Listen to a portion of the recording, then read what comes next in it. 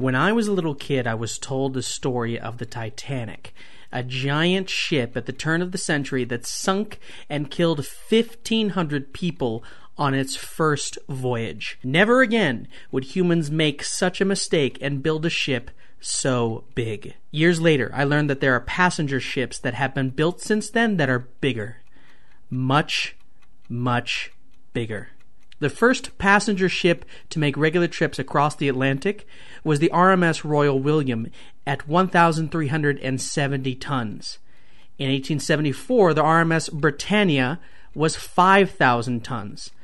The RMS Lusitania was 32,000 tons. The RMS Titanic was the largest ship of its kind at 46,000 tons in 1912. It took only 20 years to make a larger ship. At twice the size, the SS Normandie, 83,000 tons.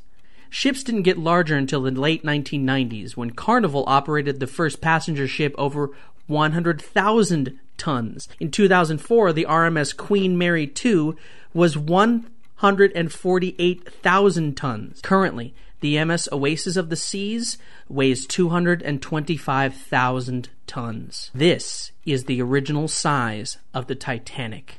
There are 60 passenger ships over 100,000 tons in use today. Another 35 are under construction, and one the Costa Concordia is currently listed out of service. Today, the Titanic would be considered a relatively small ship if anyone were to try to build it again, but no one would do that.